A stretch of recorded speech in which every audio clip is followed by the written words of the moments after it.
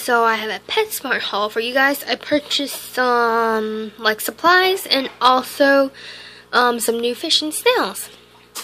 So I'll show you the supplies first and then the fish at the end of the video. So I spent quite a bit of money actually. I spent um, $32.27 uh, mainly because of one thing. So let's show you kind of what I got first. So I got this this this small air stone and um this is probably gonna go in my 30 gallon and possibly my 10 gallon I don't know. Um, I'm gonna see how the um, bubbles come out first. And then I also got a new fine mesh fishnet yes I already have a fishnet but um, if you know the um, this is a 3 inch one so if you know the 3 inch one that I have currently, the handle is very long, so it's kind of harder to use in my 10 gallon tank. And the blue one, um, the net area is too small. So this one is perfect, so it would work perfectly fine for my 10 gallon tank and this was 99 cents a bunch of this stuff were on sale the, the um, PetSmart's having like a three day sale um, I don't know why, but they just are. So I got that, and then the expensive thing was this, and this was $7.99, and it is a reversible aquarium background from Marina, and it's a blue and also black one on the inside. So um, I don't know what I'm going to use yet, but um, I plan on probably using the black one. Blue it's a maybe, but either way, it's versatile, so I can decide um, later. Okay, so I got some snails. I have a black, a blue, an ivory, and a gold, and these are like small ones. I asked um, the girl or the worker, or whatever, to pick out some smaller ones.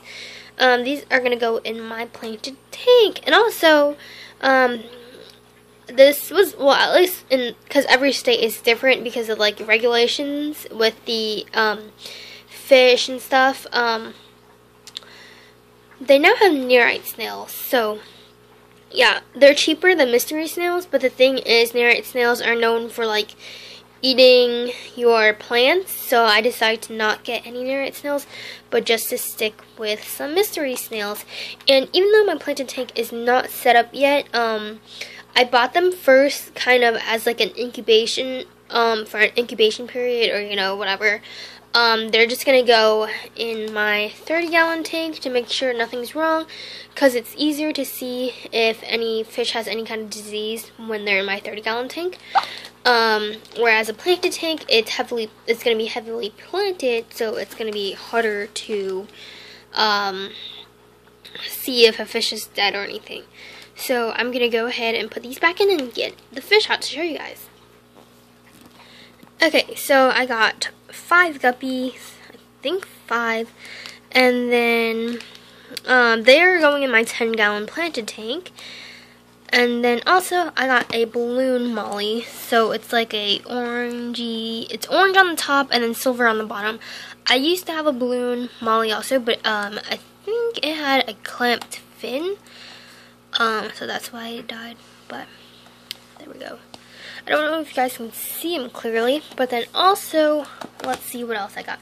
I got three females, three guppy fancy females, and they kind of have like a cobra tail, but since females are known for like, you can tell the difference really easily because of their dull colors. So one of them has a really nice tail. They all have cobra tails, but some of them are only like half cobras. So, uh, I don't know if like, it's kind of hard to explain.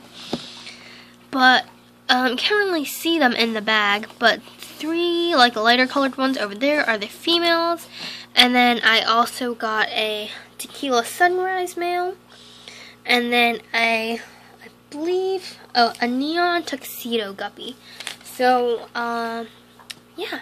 I only, so now I have five females and three males. Now, I probably need to end up getting more females or something, but I do have some fries, so it'll all be good in the end. Um, so yeah, that's pretty much it, and I will see you guys next time.